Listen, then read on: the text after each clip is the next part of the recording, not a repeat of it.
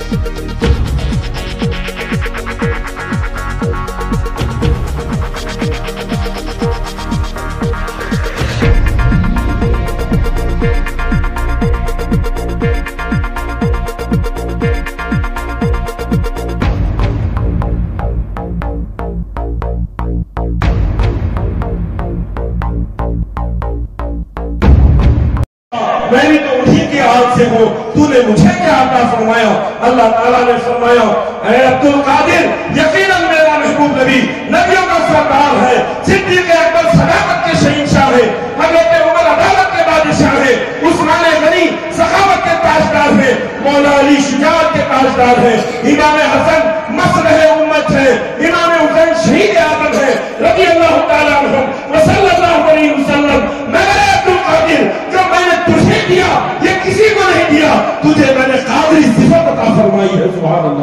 تجھے قادری صفت عطا فرمائی ہے۔ پھر اٹھے اعلیٰ حضرت، بندہ قادر کا بھی ہے، قادر بھی ہے عبد القادر سبحان اللہ بندہ قادر کا بھی ہے، قادر بھی ہے عبد القادر اللہ اللہ سبحان اللہ سبحان اللہ یہ ہے ہمارے غوث اعظم، رضی اللہ تعالیٰ عنہ کی عظمت و شان۔ یہ ہے ہمارے غوث پاک کا مقام و مرتبہ یہ ہے میلاد مصطفیٰ کرنے کا فائدہ۔ میلاد کرتے رہو۔ تاکہ تم تاکہ تمہارے نسلوں میں دین باقی رہے، تاکہ اسلام کے پرچم روشن ہوتے رہے، تاکہ میلاد والے بچے قیامت تک یا رسول اللہ کا نعرہ لگاتے رہے، عزیزان محترم اسی تنظیموں کے ساتھ میں اپنی گفتگو تمام کر رہا ہوں۔ اللہ تعالیٰ ہم سب کو مسلک اعلیٰ حضرت پر قائم رہنے کی توفیق عطا فرمائے۔ اللہ تعالیٰ ہم سب کو میراث کا صدقہ اور غصبہ کی جانبی کا صدقہ عطا فرمائے۔ استغفر اللہ ربی، من کل ذنب و خطیر کی بات الیہ لا الہ الا اللہ، محمد رسول اللہ اب میرے ماں جاوید جمالی صاحب کے ملاک دس پندرہ منٹ کے بڑا مختصر پھر صلی اللہ علیہ وسلم دعا، ماشاءاللہ۔ بہت سارے احباب آئے ہوئے ہماری ٹیم میں آپ نے دیکھا ہمارے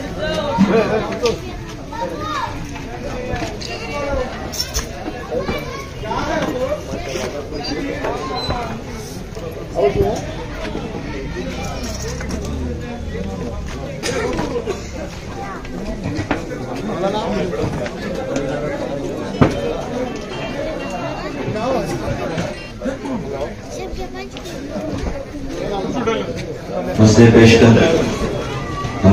اللہ مولانا عبدالسلام صاحب اور اس سے پہلے حضرت مولانا ایاز سلطانی صاحب اور حضرت مولانا عبدالکلام صاحب بہت ہی شاندار طریقے سے آپ نے ان حضرات کا خطاب سماعت فرمایا۔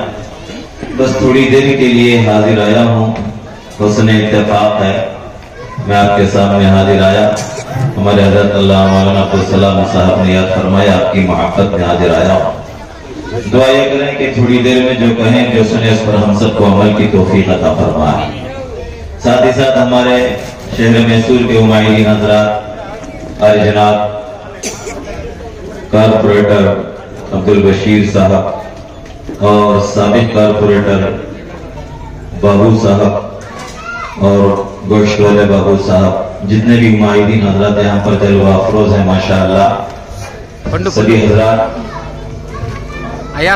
علی جناب کارپوریٹر پنڈو صاحب۔ G D B S D G B S Abbas صاحب زبیر صاحب عمیر صاحب ماشاءاللہ۔ ناصر صاحب۔ ایک معاہدین حضرات قافلہ ہے ماشاءاللہ۔ یہ سب کارپوریٹر ہیں اور دین کے یہ ماسٹر ہیں اور یہ ہمارے علماء، یہ دنیا کے ماسٹر نہیں ہیں، دین ہمارے علماء دین کے ماسٹر ہیں۔ دو شعر سماعت فرما لیجیے، اس کی تشریح کروں گا اور حضرت علامہ عبدالسلام صاحب نے ایک شعر پیش کیا۔ میرا موڈ دوسری طرف تھا، لیکن حضرت کے شعر نے مجھے اور تقریر میں تبدیل کر دیا۔ حضرت کے حضرت کے وہ شعر مجھے بڑے پسند آئے جو حضرت علامہ عبدالسلام صاحب نے کہا فقط اتنا سبب ہے انعقاد بزم محشر کا کہ ان کی شان محبوبی دکھائی جانے والی ہے۔ اسی مناسبت سے دو شعر میرے سماعت فرما لیجیے۔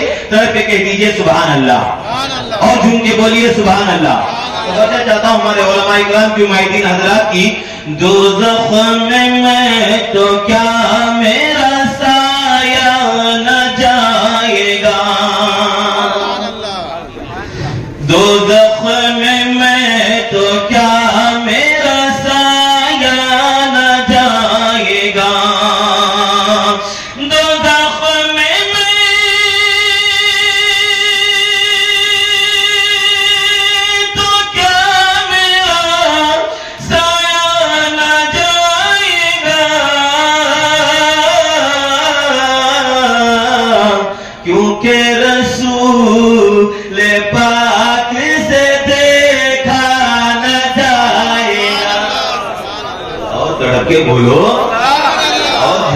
بولو۔ ادھر تھوڑا گھوم کے بولو۔ دوزخ میں میں کیا میرا سایہ نہ جائے گا۔ اور جنت میں وہ رسول ہمارا نہ جائے گا۔ پہلا شعر کے بعد اس کا جواب دوسرے شعر میں سماعت فرمائے۔ جنت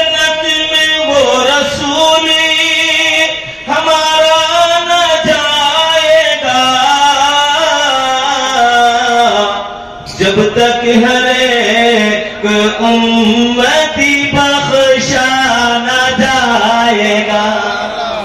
جب تک ہر ایک امتی بخشا نہ جائے گا۔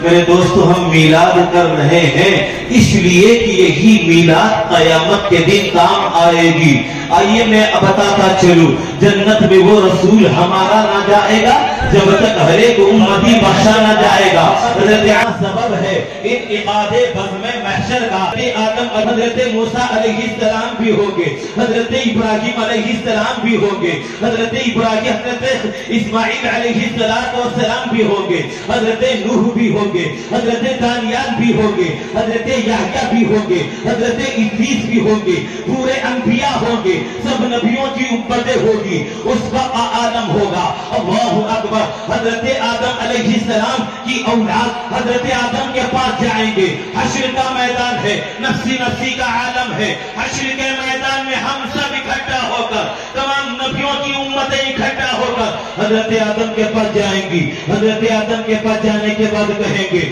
اے اے ہمارے باپ، اے اللہ کے خلیفہ، آپ ہمارے باپ ہیں، آپ آدم علیہ السلام ہیں، آپ ہماری بخشش ہیں حضرت آدم علیہ السلام کہتے ہیں تمام اولاد حضرت آدم کے پاس جائے گی۔ حضرت آدم علیہ السلام فرماتے ہیں، آج میری چلنے نوالی نہیں ہے، تم کسی اور کے پاس جاؤ۔ حضرت آدم سے لے کر حضرت شیش کے پاس جائیں گے۔ حضرت شیش بھی کہیں گے، اس حقوق علاقے گی تم کسی اور کے پاس جاؤ۔ حضرت شیش کے بعد حضرت نوح کی بارگاہ میں آئیں گے۔ حضرت نوح بھی یہی کہیں گے، اس حقوق علاقے گی تم کسی اور کے پاس جاؤ۔ حضرت نوح حضرت نوح کے پاس، حضرت عدریس کے پاس، سب یہی کہیں گے۔ گے۔ حضرت ابراہیم کے پاس جائیں گے۔ حضرت ابراہیم بھی یہی کہیں گے تم کسی اور کے پاس جاؤ۔ حضرت اسماعیل کے پاس جائیں گے۔ حضرت اسماعیل بھی یہی کہیں گے تم کسی اور کے پاس جاؤ۔ ایک لاکھ چوبیس ہزار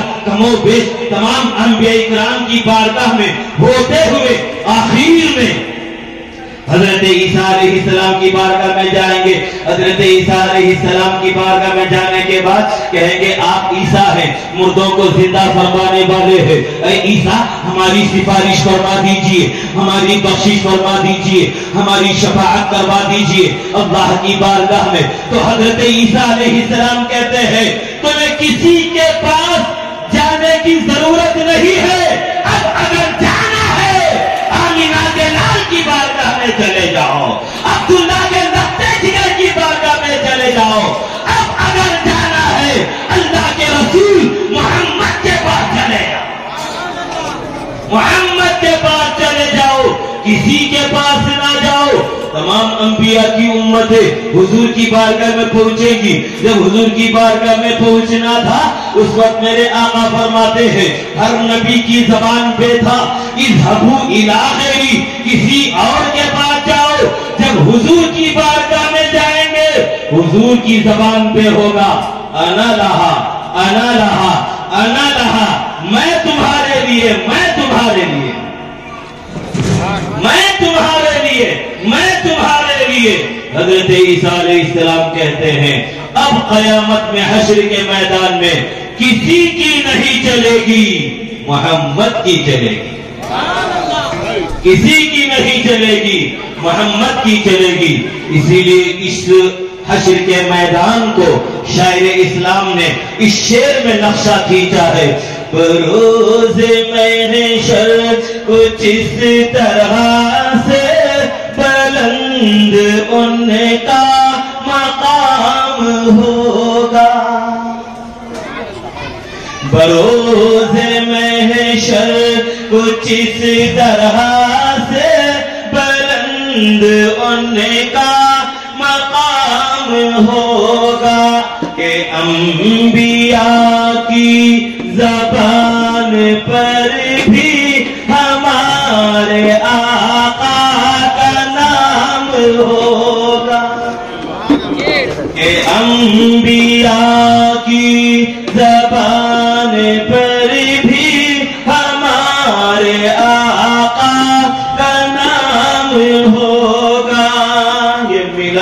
مصطفیٰ کرنے کا مقصد یہی ہے یہاں پر اللہ اور اس کے رسول کا ذکر ہوتا ہے۔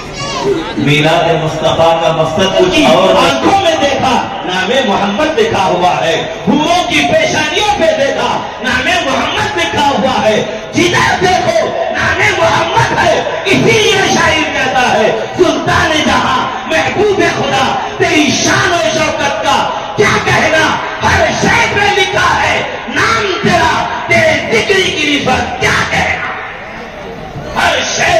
ہے۔ تیرا نام نام تیرا، تیرے ذکر کی رفت کیا کہنا؟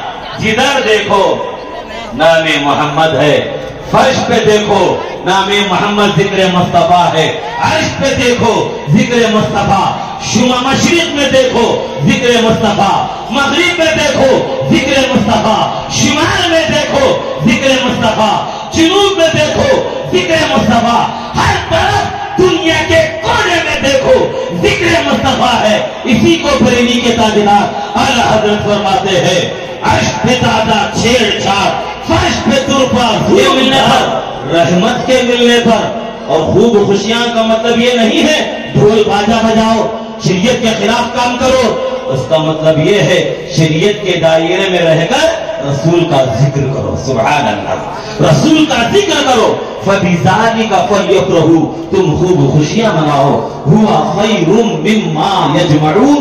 جو تم وہ، جو جمع کر کے رکھے ہو، اس کو تم خوب خرچہ کرو۔ خوب نبی کے نام پر لٹاؤ، نبی کے نام پر خرچ کرو، خوب خوشیاں مناؤ۔ سب سے بڑی رحمت ہمارے لیے معلوم ہے کیا ہے؟ سب سے بڑی رحمت ہے ہمارے لیے آقا کی پیدائش کا دن ہے، سبحان اللہ۔ سب سے بڑی رحمت آقا کی پیدائش کا دن تو اللہ تعالیٰ قرآن میں فرماتا ہے، وہی آیت میں نے آپ کے سامنے پیش کی ہے۔ کل بفضل اللہ و برحمتہ فبذالک اے محبوب، آپ فرما دیجیے، اللہ کے فضل سے اگر تم رحمت کے ملنے پر تم خوب خوشیاں مناؤ، ایسے خوشیاں مناؤ۔ سن لی رسول کے نام پہ، عاشق رسول کے نام پہ کرتا ہے خوب خرچہ۔ اسی لیے ہمارا قرآن میں ہے چرچا۔ انشاءاللہ اس محفل کے صدقے میں قیامت کے دن ملے گا، آقا کے دست مبارک سے جنت کا پرچا۔ انشاءاللہ تعالی نمازوں کی پابندی کرو، یہ ہمارے لیے بہت ضروری ہے۔ آج ملاد کر لیتے ہیں۔ گیارہویں کر لیتے ہیں، نماز سے بہت پیچھے ہیں۔ نمازوں کی پابندی کرو، اللہ اور اس کے رسول جبھی خوش ہوں گے۔ میلاد مصطفیٰ کے ساتھ، جشن گیارہویں شریف کے ساتھ نماز پڑھیں گے۔ اللہ اور اس کے رسول کو راضی کریں گے۔ اللہ تعالیٰ ہم سب کو سرکار کا سچا عاشق بن کر زندگی گزارنے کی توفیق و رفیق عطا فرمائے۔ ہم سب کو بدبخت نمازی بنائے۔ ماں باپ کی خدمت کرو، بیوی، بچوں کے حقوق ادا کرو، پڑوسیوں کے حقوق ادا کرو۔ یہی ہمارا اسلام کہتا ہے۔ یہی ہمارا مذہب اسلام کہتا ہے۔ ماں آخری بات، ماں باپ کی بات آگے، تو آخری دو باتوں میں اپنی گفتگو کو ختم کرتا ہوں۔ ماں باپ کی خدمت کرو۔ آج شادی شدہ ہو جاتے ہیں۔ شادی ہونے کے بعد ماں باپ کی طرف خیال نہیں رہتا۔ بیوی مل گئی تو سمجھتے ہیں کہ سب کچھ جنت وہی مل گئی۔ لیکن حدیث پاک ہے، سرکار فرماتے ہیں، ماں کے قدموں کے نیچے جنت ہے۔ سبحان اللہ۔ ماں کے قدموں کے نیچے جنت ہے۔ اور باپ جنت کا دروازہ ہے۔ ماں باپ کا مقام اس آیت حدیث پاک سے مقام کا مقام و مرتبہ کا اندازہ لگاؤ۔ سرکار فرماتے ہیں، جو اولاد بیٹا ہو یا بیٹی، جو اولاد صبح اٹھتے ہی اپنے ماں باپ کے چہرے کو محبت کی نظر سے ایک مرتبہ جب دیکھتے ہیں، آقا دو جہاں صلی اللہ علیہ وسلم فرماتے ہیں، ستر مرتبہ خانے کا طواف کرنے کا اسے ثواب مل جاتا ہے، سبحان اللہ۔ سبحان اللہ سبحان اللہ۔ اور ایک حدیث میں ہے کہ ایک جن ایک مرتبہ حج مقبول کا اسے ثواب مل جاتا ہے۔ ماں باپ کی خدمت کرو، ماں باپ کے چہروں کی زیارت کرو اور ماں باپ کا جو حق ہے ان کو پہنچاؤ۔ صرف بیوی بچوں کا یہ حق نہیں ہے، بیوی بچوں سے زیادہ بوڑھے ماں باپ کا خیال رکھنا ضروری ہے۔ ان کے بھی خرچ و اخراجات ہیں، ان کے بھی دوائیوں کا معاملہ رہتا ہے۔ ان اولادوں کو چاہیے اپنے بیوی بچوں کے ساتھ ساتھ اپنے ماں باپ کا بھی خیال رکھیں۔ ماں باپ کا بھی بھرپور خیال رکھو۔ اس جنت کو حاصل کرنا ہے۔ پہلے اس جنت کو خوش کر لو، جنت خود بخود مل جائے گی۔ ماں باپ جب دعا کریں گے، اللہ تعالیٰ ان کی دعاؤں کو قبول فرمائے گا۔ صرف آٹو پہ، گاڑیوں پہ یہ نکلنے سے نہیں چلتا۔ ماں کی دعا ماں کی دعا اس وقت ملتی ہے جب ماں باپ کی خدمت کرتا ہے۔ ماں باپ کی ماں باپ کا خیال رکھتا ہے۔ جب جا کے وہ ماں کی دعا کام آئے گی، صرف آٹو پہ نکلنے سے، گاڑیوں پہ نکلنے سے کام نہیں چلے گا۔ نکلنے سے کام نہیں، عمل کرنے سے کام چلے گا۔ اللہ تعالی ہم سب کو نیک عمل کی توفیق عطا فرمائے۔ اس میلاد مصطفیٰ کے صدقے میں اللہ سب کی بگڑیوں کو بنائے، سب کا بیڑا پار فرمائے۔ استغفر اللہ ربی من کل خطيئتي وأتوب إليك. تلك بزندقي باقي لي ملاقات هوكي وما علينا إلا البلاء. السلام عليكم ورحمة الله. الصلاة والسلام عليك يا رسول الله. الصلاة والسلام عليك يا حبيب الله. وعلى آلك وصحابك يا كرم يا مدد يا محمد رسول الله. إلى حضرة النبي أكرم صلى الله عليه وسلم. الفاتحة.